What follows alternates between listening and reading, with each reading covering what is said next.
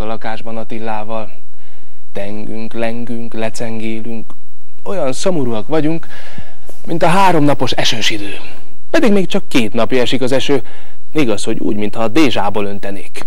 Apa, mesé! Én? Kérdezem megrökönyödve, mintha csak azt kérné tőlem, hogy vigyem át űrhajón a holdra, de most azonnal. Én? Hisz látod már, tegni sincs kedvem, csak lengek, lengedezek, mint a rozog a csónak a hullámok hátán. Ugyan, apa, attól még mesélhetnél. Jó, rendben van, te akartad.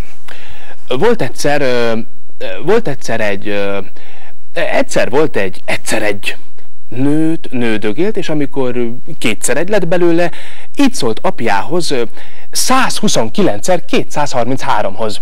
Édes jó atyám! De édes jó apám, számolunk vagy mesélünk? Hát mi az ördögöt meséljek neked, legalább segíts! Ördögöt is lehet, öreg ördögöt.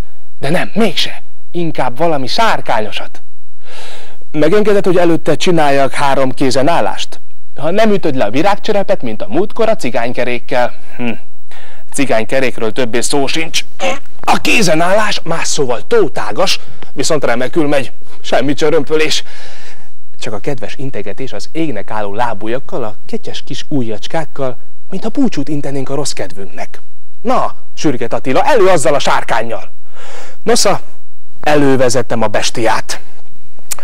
Volt egyszer, hol nem volt, hetet hét Tarjánvároson túl, még a nagy szegedi körgáton is kívül, volt egyszer egy emberevő sárkány. Ne egyen embert, kottyant közbe a fiam. Hát mit tegyen az ebatta? Sóskát? Tökfőzeléket? Fújom a tüzet, persze, tudom, hogy hiába. Az emberevésnek már a vége. Új nyomon kell elindulni.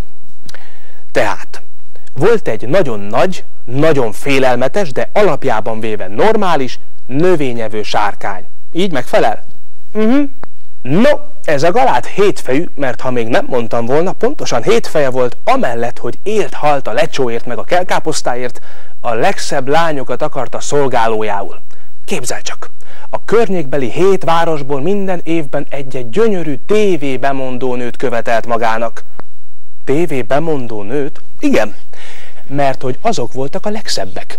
Az egyiknek acélannára kellett hasonlítani, a másiknak Berkes Zsuzsára, a harmadiknak Erős Antoniára, a negyediknek Borbás Máriára, és így tovább. És az ötödiknek, a többit már nem tudom pontosan, de nem is ez a fontos. Csak az, hogy a sárkány a legszebb lányokat kérte adófejében arról a vidékről. És nem merték megtagadni egyszer sem, mert ő sárkánysága tűzokáldó volt, és valamennyi várost fölperzselte volna. És mit csinált velük? Mármint a szép lányokkal? Elvitte a várkastélyába, aztán nekik kellett sütni, főzni, mosni, mosogatni, takarítani, még ablakot is tisztítottak. Borzasztó sok dolguk volt szegényeknek. Hát szabaduljanak ki. Szabaduljanak, szabaduljanak.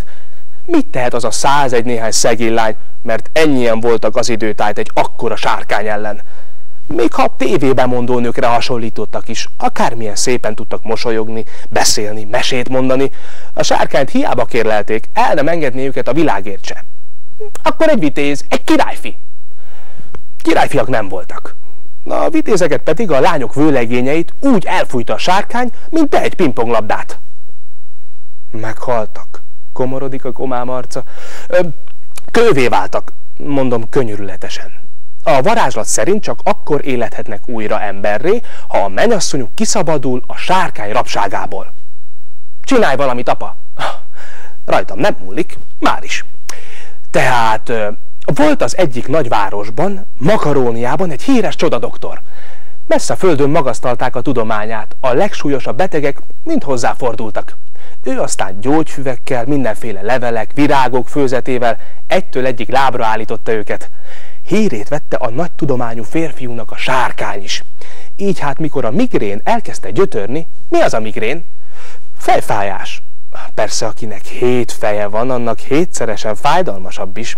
Nagyon gyötörődött szegény sárkány, üzent hát az egyik szolgáló lányával a csodadoktorért. A doktor pedig valósággal megörült az üzenetnek, mert neki is volt egy szépséges szép lánya, aki senki ismert tévébemondó nőre nem hasonlított, de olyan szép volt, olyan, hogy a képernyőre lehetett nézni, de ő rá nem. No, ez a derék csoda doktor már nagyon félt, hogy jövőre az ő lánya is sorra kerül. Addig törte a fejét, még kigondolta, hogyan szabadítsa meg a lányát s a vidéket a fejfájó sárkánytól. Megrakott száz szekeret gyógynövényekkel.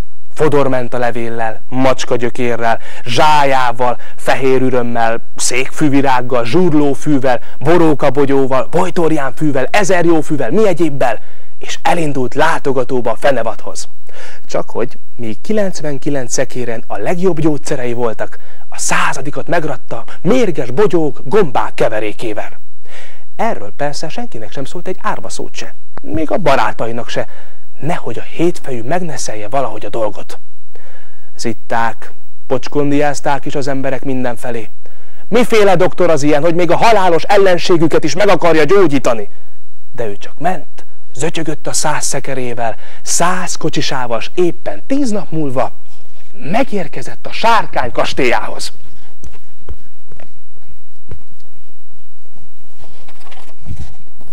Noj, te vagy az a híres csoda doktor, nyöszörögte a sárkány, mind a hét fején vizes borogatással. Én volnék, nagyságos uram, hivattál, itt vagyok. Hát hallom, mi kéne, ha volna?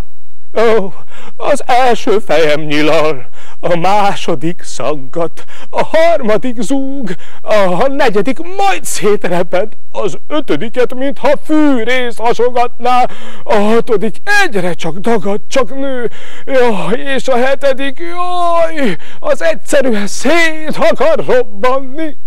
Segítek én rajta, sárkány uram, ha csak ez a baj. Itt a világ minden gyógyfüve, mutatott a szekerekre a tudós.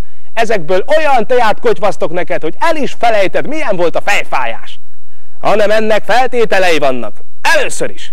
Fehér személy nem lehet a várkastélyban a gyógykúra alatt, mert ez elvenni a gyógyfőzetek csodahatását.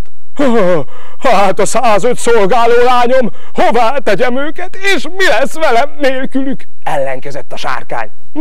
A kastélyban nem lehetnek, engedd ki őket tüstént a szekerekhez, majd a kocsikon meglaknak addig. És te ne tart semmitől, én melletted leszek, parancsolta a tudós. És úgy is lett. Kint voltak a várból, megélettek a kővé vált vőlegények is, velük együtt szekereztek haza. Maga a csodadoktor nagy üstökben kotyvasztotta a csodateákat. Úgy meggyógyította hat fejét, fülig ért a szájuk.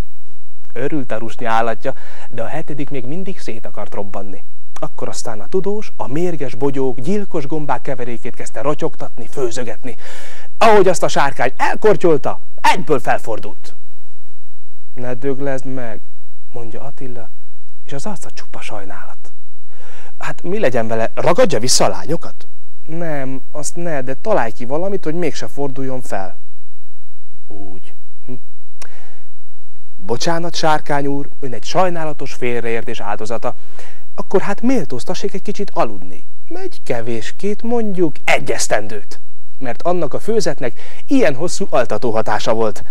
Mikor aztán egy év múlva a sárkány fölébredt, már egy óriási acélketrecben találta magát.